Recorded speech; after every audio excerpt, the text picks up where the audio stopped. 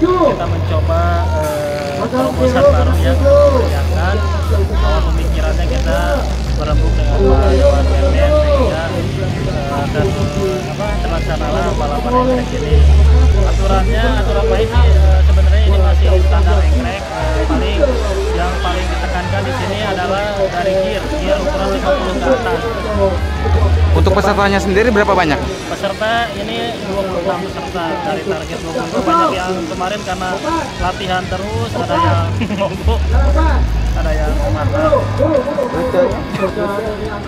Eh, ini ya kurang lebih eh, 5000 meter persegi lah di lingkar.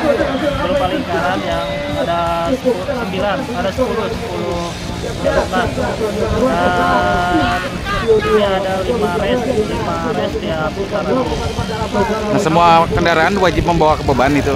Iya wajib, wajib membawa tiga beban itu dari skam, skam padi, tiga karung tiap motornya. Nah, motor anggrek itu kegunaannya untuk mengangkut eh, beban, mengangkut beban dari yang, yang dari tempat-tempat yang sulit untuk dijangkau, misalkan kayak kayu, kayu di tengah hutan yang nggak ada jalan ke sana. Nah, mungkin alternatifnya menggunakan motor anggrek untuk mengangkut ang- angkutan itu, misalkan hasil panen juga sama yang nggak dilalui jalan raya, yang jalannya susah ekstrim, eh, Yang berikutnya ini pesertanya dari mana aja? Dari luar desa Ciwaru ada nggak? Iya banyak. Buka ini kita kalau untuk perlombaan ekrek itu diopenkan ya karena kalau di desa Ciwaru sendiri nggak bakalan meriah, tapi nggak bakalan banyak.